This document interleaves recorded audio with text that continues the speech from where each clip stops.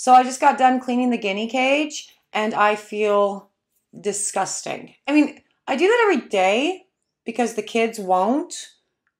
They're pets, not mine.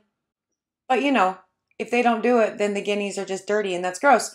So I just did that right now. And you know, like I washed my hands and did the whatevers, but I I feel nasty and I don't really want to be in front of the camera, but you know, I have to do this before I can go take a shower because it's getting late in the day, really. So I'm here dirty. And so if you see like any like random like flying hairs or anything going on, I'm sorry. I'm super sorry. I just I have a life outside of this. A big one. There's a lot. You only get me for like 20 minutes a day. So there's a lot that goes on in all of the other minutes, really. And today, right before this, was guinea pig cage cleaning.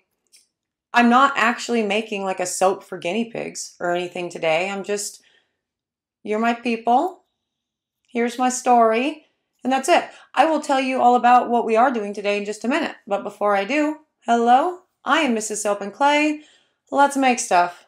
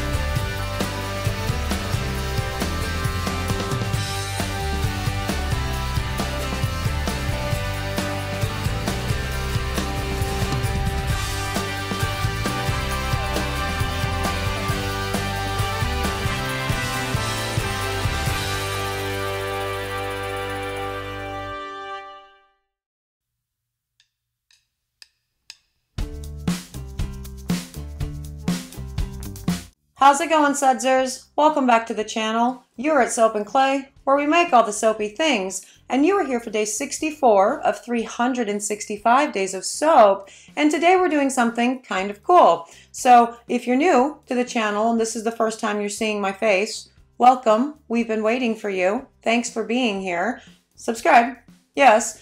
But you may not know that we do daily content and we have like a structure that we follow, right? And so three days a week, we do back to basic stuff, deep diving into very specific parts of the soap making world. We do a recipe day and then we do a test and a business building day. And today is a back to basics day wherein we are going to be talking about fragrance oils and essential oils and what you can and cannot do with them in soap and also how to use them. Because there's actually a lot of confusion about that, especially going from company to company when it comes to fragrance oils. Some companies will be like, yeah, use your fragrance oils at 5%, but then other companies will list the IFRA max usage, and sometimes that can be up to 100%, right? And so that gets confusing. How do you determine how much scent, be it fragrance oil or essential oil, that you're going to need in your soap? And also, we're going to talk about what does or does not survive the saponification process as far as we know. So, you know, it's a lot to cover. So let's get to the video and we can chit chat about all of that, you know, there. I hate when I have a small, short video and I want to talk about a big topic. So, essential oils versus fragrance oils. Let's start with essential oils. We know what they are. You know, they they come from plants. They are usually steam distilled. All of that jazz. Um, if you believe in it, they provide medicinal benefits, although there is nothing in the world that says that it that essential oils actually do that. But if you believe in it, it works. And I am not having that conversation as to whether or not they are beneficial or whatever, because this is not that video. And I'm talking about the usage of essential oils versus fragrance oils in soap. Soap is a is a rinse off product, right? So we keep that in mind for both. But there is still interesting evidence that suggests both no beneficial therapeutic benefits of essential oils survive saponification and beneficial, therapeutic, and or allergenic parts of essential oils survive saponification.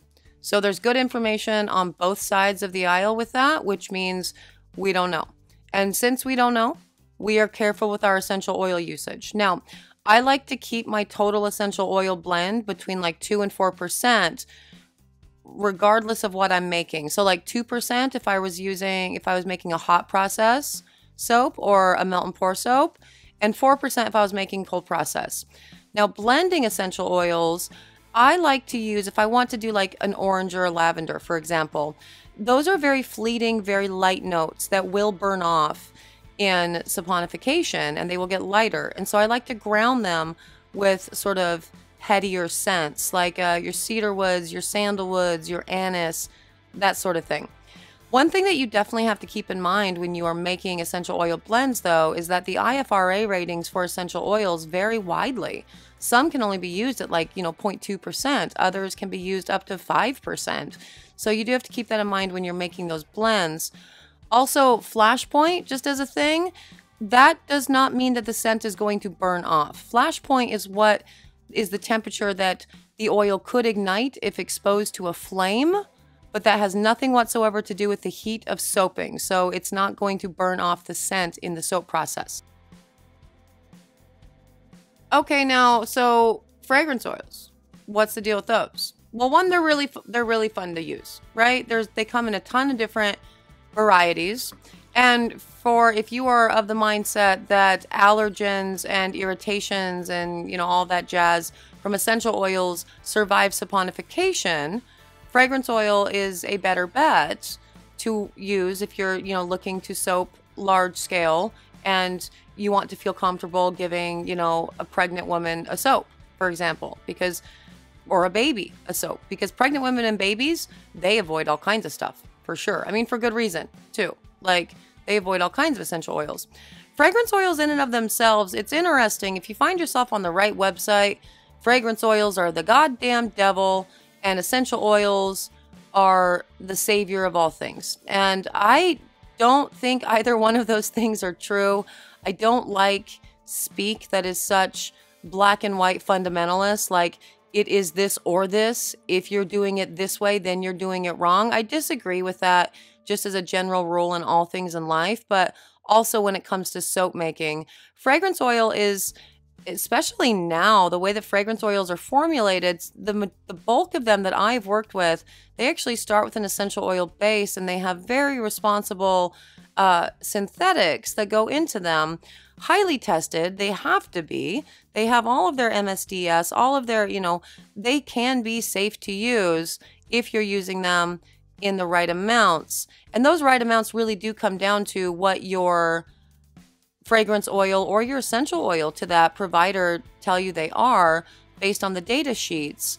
So, just as a general rule though, I stick around 5% for all of my my soaps when I'm using fragrance oils. And you will see with some fragrance oils, it gets very confusing because some fragrance oils will be like, well, you can use this up to 100%. Well, that's the IFRA rating. That's what's saying this is skin safe up to this amount. You would not actually want to do that in a soap because the the essential oils and the fragrance oils, they don't really they're not they're not exactly part of the saponification process. Saponification sort of exists around it, right? As the lye solution is looking for the fatty acids and you know all the jazz. And so as a result, you're going to end up with a lot of seepage and weeping and all the things if you use, you know, fragrance oils in that high of an amount. Also to that with essential oils too. But with both of these, I would say that the biggest thing that you really have to concern yourself with is what type of soap that you want to make. What do you want to make?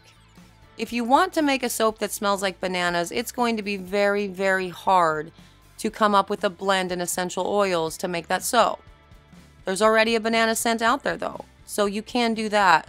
If you don't feel comfortable using fragrance oils, don't do it. If you don't feel comfortable using essential oils, don't do it But regardless of what you use, you have to make sure that you check the data sheets and the IFRA. All legitimate companies will have that information for you so you can determine exactly how much you need to use. Now, back to the whole essential oils and what sticks through saponification. Again, we don't know. We don't know. But what I do know is that if a gal comes into my shop and she's pregnant and she's saying, I'm avoiding eucalyptus, well, I'm not giving her a eucalyptus bar, whether it's a fragrance oil or an essential oil. Like, I'm just not going to do that. I'm going to steer her in a different direction, just period. Because it's not my job to determine what she can and cannot use in her pregnancy. I don't know her life. That is not the thing. And so, you know, pay attention to that with everything that you're using and make sure that you stay within the skin safe usage.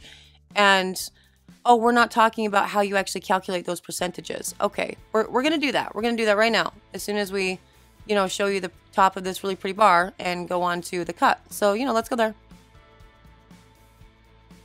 I totally said irritations earlier, not irritants, and that makes me big mad. Whatever. Um, yeah, so the percentage, how do you calculate the percentage? Well, with a fragrance oil, it's pretty straightforward. It is uh, whatever percentage you would like. Again, I stick my soaps at right around 5% based on the total oil weight of the batch. Not the whole batch weight, the total oil weight. If you stick within that range, you're going to be safe for all all scents, all fragrance oils, um, except for the ones that say like you should not use this above one percent. But honestly, if there's a scent out there that says don't use this above one percent, just don't even bother buying it because you're going to have to blend it with something else, and it's going to be a huge pain, and then it's going to start to feel like essential oils. Now, essential oils, same thing. You figure that percentage based on the total oil weight, not the total batch weight. And the reason for that is everybody actually soaps differently with the amount of water or liquid they put into their soaps. Like me, for the most part, I end up at about 2.4 times my lye solution for all of my water. But a lot of people do water discounts. A lot of people do, you know, regardless, what whatever. The majority of that water is going to no longer exist in the bar after you know saponification and a good cure. It will continue to lose water weight. And so you don't want to factor your scents based on the total batch. You want to factor your scents based on the oil. Does that make sense? I think that makes sense. Right. Now, for essential oil percentages, again, you do have to look at a spread if you're going to be blending essential oils, which I recommend you do. It really will help everything stick better. I recommend blending and looking at the percentage rates. And so let's say you wanted to put like Oh God, uh, anise is a good one, or cinnamon. Those have really low usage rates, like really low IFRA rates for all, for a leave on, a rinse off, whatever. I think it's like 0.5% or something for cinnamon. And so, well, you, you're not going to make a bar with just cinnamon, right? And so you're going to want to blend that with something that will enhance that cinnamon scent without, you know, completely overpowering it. 0.5% of cinnamon is actually a lot. Like I would never really do that. Just a little teeny tiny bit for cinnamon. But you could blend it with, you know, a sandalwood or a cedar or a vetiver, um, even an anise. But again, that gets that's a lower percentage usage too, and really help it stick, but still get you know essentially enough essential oils that your bar smells like something. Otherwise, you've just wasted money, right? Like you're just if you're just putting in that 0.5% of the cinnamon through an entire batch, it's probably not going to survive saponification. If it does, it will be super duper light, which means, you know, you've just put an extra 10 bucks into your soap for really no good reason. So, when it comes down to fragrance versus essential oils, neither are right, neither are wrong. It all comes down to what you want to do in your soaping journey. And just make sure that you follow the IFRA ratings and you don't overscent any of your soaps. And that is uh, day 64. And there it is. All things essential oil, fragrance oil, soap related for your viewing and listening pleasure. I hope you guys took notes. I tend to talk really fast when I have a bunch of information to get out in a short time frame. But you know, if there's more questions about any of this, we will be doing a live again at some point and you can ask and we can dive more into all of that for sure. Yes. I, again, really hope you guys learned something and had a good time today. I always have a good time with you. And, you know, if you did have a good time with me and you're not subscribed, hit the button. You know the drill. For those of you who are subscribed, hey, thanks. Hit the like button, comment. I don't know. Those things are supposed to do things too. I have no idea. I'm just doing what the peoples tell me I'm supposed to do. So, you know, thank you for being subscribed and for being my sudsers and for being here for an awesome back to basics deep dive with essential oils and uh, fragrance oils. I am out of here for today. I'm going to go take a shower because, yes, uh, I do again appreciate you joining me for another day of 365 days of soap. I'll see you guys all again tomorrow for another round of soapy fun. Bye.